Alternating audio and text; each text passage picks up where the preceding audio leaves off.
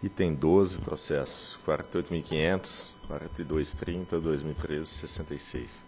Requerimento administrativo interposto pela Companhia Sul Paulista de Energia, CPFL Sul Paulista, com vista à não incidência de parcelas de ineficiência por ultrapassagem associadas ao ponto de conexão Duratex com 138 kV, decorrente do aumento de carga de, do consumidor Duratex. Diretor relator, doutor José Grosa. A Resolução Normativa 399-2010 estabelecia as regras de contratação do uso do sistema de transmissão em caráter permanente, temporário, flexível e de reserva de capacidade, bem como apresenta as, as regras de apuração é, de apuração da eficiência da contratação, na qual estabelece para a distribuidora que elas passam a ter a eficiência da contratação do uso do sistema de transmissão contabilizado pelo INS, apurada pelas diferenças entre o músculo contratado e a demanda máxima medida por horário de e ponto de conexão da seguinte forma. Mensalmente, quando houver ultrapassar da demanda caracterizada pela medição da demanda máxima no valor superior a 110 do multis, contratado nos horários ponta e ou fora de ponta. Em 26 de 12 de 12, a CPFL Sul Paulista e o INS celebraram o 13º termo aditivo ao contrato de uso do sistema de transmissão, o CUST 122 de 2002, por meio do qual a distribuidora contratou o MUST para os anos de 13 a 16. Em 25 de 2 de 13, por meio de carta, a CPFL solicitou ao INS o aumento do MUST contratado para o ponto de conexão Duratex, em 138, de 9 para 29 megawatts no horário de ponta e fora de ponta. Em 7 de maio de 13, por meio de carta, o INS informou a CPFL Paulista que os aumentos do MUS pretendendo ponto de conexão da Duratex só poderiam ser possíveis com a implantação de compensação reativa de 25 MVAR na subestação Duratex. Em 20 de maio de, de 13, em reunião realizada pela CPFL Sul Paulista e a SRT, a distribuidora expôs a dificuldade que vinha enfrentando para o aumento do MUS contratado no ponto de conexão Duratex 138. Na mesma data, por meio de carta, a CPFL propôs ao ONS a instalação de compensação reativa na subestação Itapetininga 9, alternativamente a compensação reativa da subestação Duratex. Apresentou estudo por ela realizado associado ao aumento da demanda do consumo do consumidor Duratex e solicitou de forma alternativa que, o que havia feito por meio de carta número 17 aumento de multi no ponto da Duratex 138 de 9 para 27 megawatts nos horários de ponta e fora de ponta a partir de 1 de maio de 13. Em, 6 de, em, em 5 de 6 de 13, por meio de carta, o INS informou a CPFL Sul Paulista que a instalação de compensação de potência reativa, inicialmente proposta para a subestação Duratex, poderia ser instalada na subestação Itapetininga 9 Tropeiros, conforme proposto pela distribuidora e concluiu que a partir do estudo realizado em caráter excepcional, sobre o entendimento do aumento do MUS solicitado no ponto de conexão da Duratex 138 para o período de maio a julho de 13.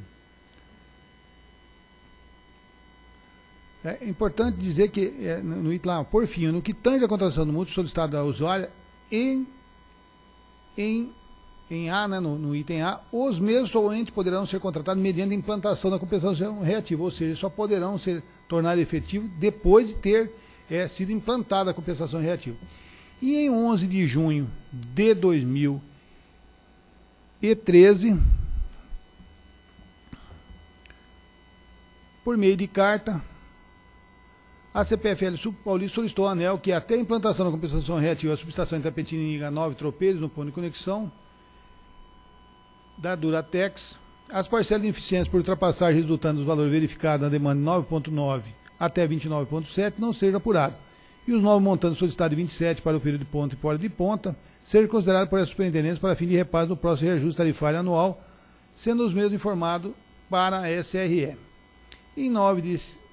7 de 13, por meio de ofício, a SRT informou a CPFL Sul Paulista que aguardava o INS o envio dos dados que caracterizasse a ultrapassagem do músculo contratado no ponto de conexão Duratex 138 para a continuidade da análise do pedido feito pela distribuidora por meio da carta 43 é, da Sul Paulista. Em 17 de julho de 2013, a CPFL Paulista e o ONS celebraram o 14º termo aditivo ao custo 122, por meio do qual a distribuidora aumentou o MUST contratado para o ponto de conexão Duratex a partir de 1 de julho de 2013, de 9 para 27 em horário de fonte e fora de ponta. Em 8 de maio de, de 14, a SRT solicitou à CPFL Sul Paulista que informasse a data de entrada da operação comercial da compensação de potência reativa da subestação Itapetininga 9 Tropeiros. E nessa mesma data, por meio de ofício 121 de 2014, a SRT solicitou ao ONS que informasse se houve ultrapassagem dos músculos contratados para o ponto da Duratex 138 entre maio, 1 de maio e 1 de julho de 13. E, caso a ultrapassagem tivesse ocorrido, os valores de músculo que ultrapassassem os montantes contratados das respectivas parcelas de ineficiência apuradas. Em 18 de agosto de 14, por meio de carta, a INES apresentou o planilha de todos os valores de ultrapassagem dos músculos contratados no ponto de conexão da Duratex 138, referente aos meses de maio e junho de 13 bem como informou ter apurado a parcela de ineficiência por ultrapassagem associada a esse ponto, apenas para o mês de junho de 13, no valor de pouco mais de 133 mil. Em 10 de março de 2003, e 15, desculpe, por meio de carta, a CPFL Sul Paulista informou ao ANEL que a compensação capacitiva da subsidação Itapetininga Nova entrou em operação comercial no dia 23 de julho de 13. E em 25 de junho de de 15, a SRT emitiu a nota técnica número 51. Em 6 de julho de 15, fui sorteado diretor relator. Procuradoria.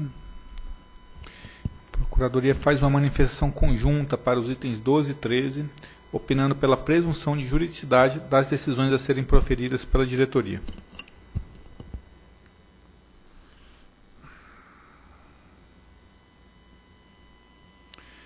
Então, trata-se de pedido formulado pela CPFL Sul Paulista para expurgo das parcelas de ineficiência e ultrapassagem, apurado nos meses de maio e junho de 13, decorrendo do aumento da demanda do consumidor Duratex, que não pôde ser refletido no custo da distribuidora até a instalação da compensação de potência reativa na subestação Tapetininga 9, Tropeiros, e que os novos músculos contratados para o ponto de conexão da Duratex de 27 MW, também nos meses de maio e junho, sejam considerados para fim de repasse a TUS da distribuidora no âmbito desse processo de ajuste tarifário. Em função da solicitação de aumento de carga do, consumidor Duratex, em fevereiro de 13, a CPFL Paulista solicitou ao INES o aumento do MUS que havia contratado por ponto de conexão Duratex 138 a partir do mês de maio de 13, de 9 para 29 megawatts, para os horários de fora, de ponta e fora de ponta. Em maio de 13, o ONS informou à CPFL Paulista que a região no ponto de conexão da Duratex apresentar níveis críticos de tensão em regime normal de operação, principalmente nos períodos de fora de ponta, devido ao montante de carga reativa e elevadas temperaturas. Assim, o INS apontou em caráter excepcional a necessidade de instalação de compensação de potência reativa de 25 MVAR na subestação Duratex, a fim de possibilitar atendimento à demanda solicitada pela distribuidora, não aditando, portanto, o custe 122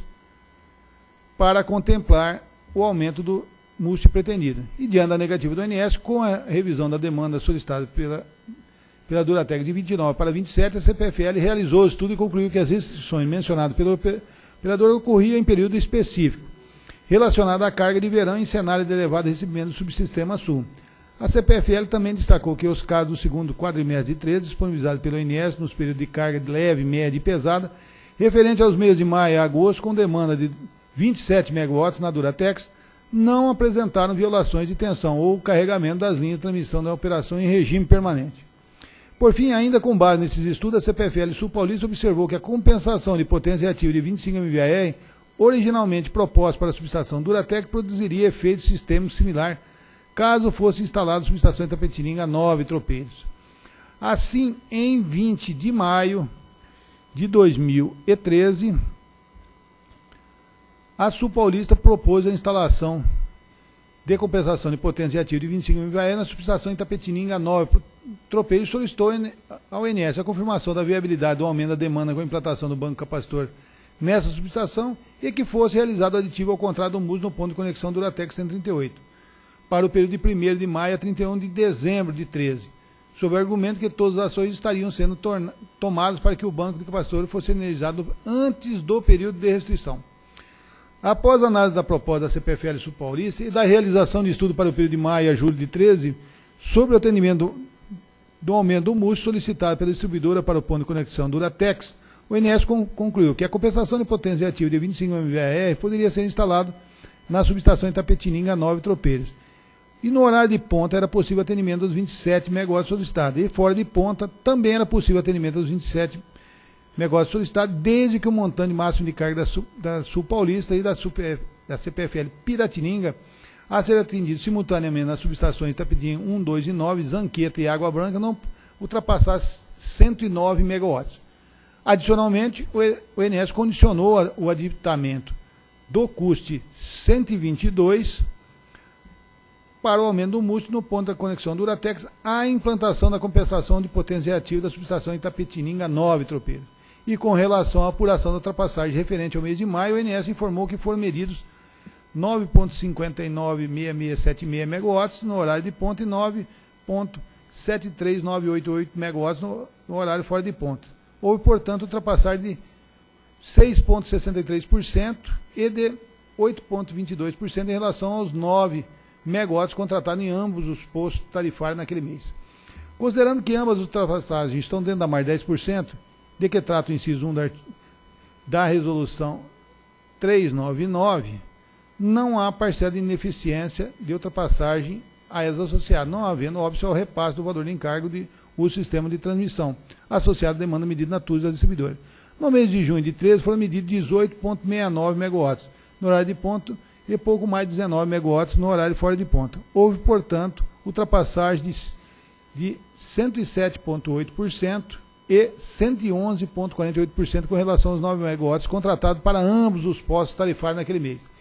Ambas as ultrapassagens estão acima dos 10% do MUST, contratado de modo que foi apurada a parcela de ineficiência de ultrapassagem de pouco mais de 133 mil. E esse valor, conforme disposto no artigo, no parágrafo 10, décimo do artigo 16 da resolução 399, não deve ser repassada à TUSD da distribuidora. No mês de julho de 13, conforme informação da CPFL Paulista, o banco de capacitor de 25 MVAR na subestação Itapetininga 9 entrou em operação. Consequentemente, o custe 122 foi aditado e o multi contratado para o ponto de conexão do Duratex 38 foram aumentados de 9 para 27 megawatts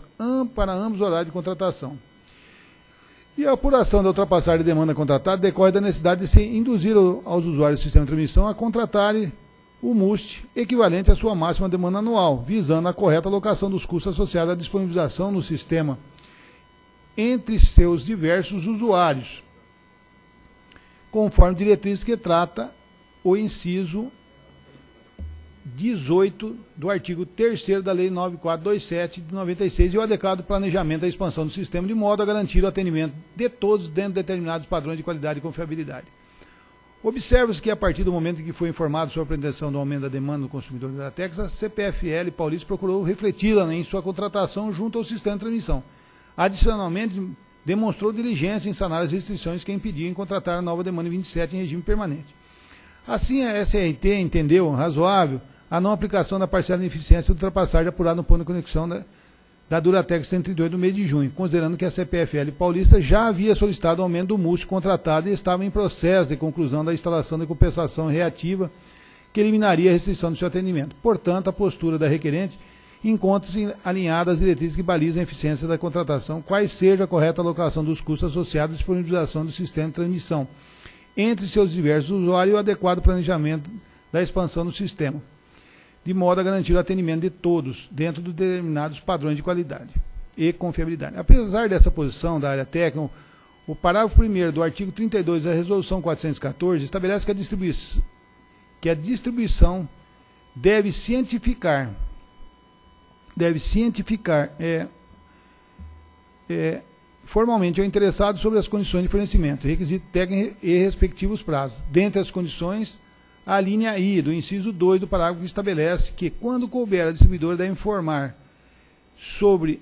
os reforços ou ampliações necessárias na rede básica ou instalações de outros agentes, incluindo, conforme o caso, o cronograma de execução fundamentado em parecer de acesso emitido pelo INS. E no caso em tela, considera que a distribuidora assumiu o risco no, no artigo 16 da Resolução 399, pela entrada em operação de ampliação de carga do consumidor de 9 para 27 megawatts, em prazo menor que aquele necessário para a conclusão das obras para adequação dos requisitos técnicos, objeto do item 4 da Carta 267 do INS, que condicionou a assinatura da contratação do músico após a entrada em operação da compensação reativa proposta pela distribuidora conforme colacionado abaixo. Portanto, considero o exposto, considerando o exposto, sou favorável à aplicação da parcela de eficiência ultrapassar no ponto da conexão 138, de acordo com o valor apurado pelo INS. Então, é, embora, embora que tenha todo o, o tratamento, estava explícito lá no INS, na, no documento do INS, que só poderia ser tornada efetiva essa, essa contratação, passando pra, para os 27 após a implantação do Banco Pastor. E isso não fez e justamente ocorreu ultrapassar no mês de junho. Então, diante do exposto e do que consta do processo, em tela voto por indeferir o play da CPFL Sul Paulista e, consequentemente, manter a aplicação da parcela ineficiente de ultrapassagem associada ao ponto de conexão da Duratex em 138 no mês de junho de 2013. É o voto em discussão, em votação. Voto com o relator. Também voto com o relator. Também acompanho o relator. E proclamo que a diretoria decidiu por indeferir o play da CPFL Sul Paulista e, consequentemente, manter a aplicação da parcela de ineficiência de ultrapassagem associada ao ponto de conexão Duratex em 138 no mês de julho, junho de 2013. Próximo item.